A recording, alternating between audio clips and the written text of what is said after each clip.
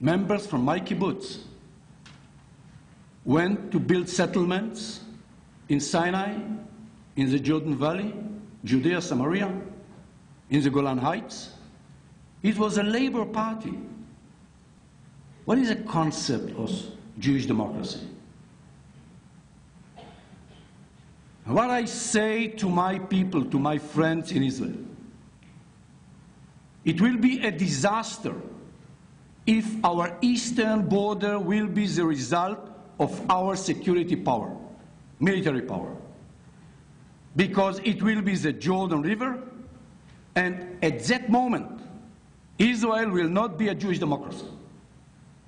If we are not majority in our country, we do not have the right to dictate anything. Our identity is a Jewish democracy. And this is why, for us, it is a condition to see a Palestinian state on the other side of the border, not because they deserve it, not because we love them, because this is existential for us. I can describe a scenario in which we shall create two states reality without a Palestinian partner. And we have the military power in order to take the risk. Our identity is existential. Yes, we have our red lines. No Palestinians shall return into the state of Israel. This is a red line. This is a major trend now among the Palestinians.